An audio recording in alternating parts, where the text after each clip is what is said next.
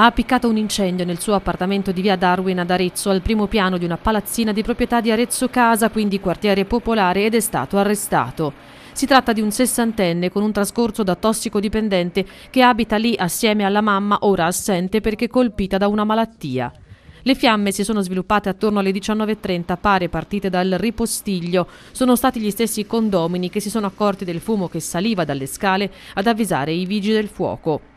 Sul posto si sono portati tre mezzi, 13 uomini del comando provinciale di Arezzo e dei vigili del fuoco e di condomini sono stati evacuati. Otto le persone che sono rimaste però intossicate di età compresa tra i 18 e i 79 anni, portate al pronto soccorso di Arezzo in codice giallo e verde. L'uomo invece è stato prima tratto in salvo e poi arrestato.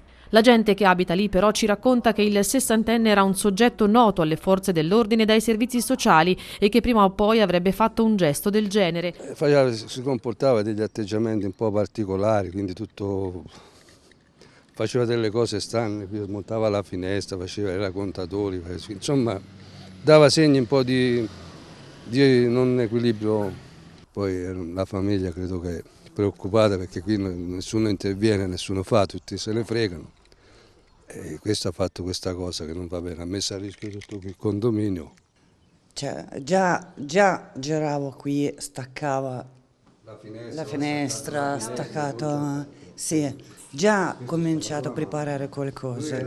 Un mese fa, sempre al primo piano, quindi nello stesso pianerottolo, sarebbe accaduto un altro incendio, ancora dunque un episodio simile, in questo caso però meno grave. Adesso l'appartamento è abitato da un'altra famiglia.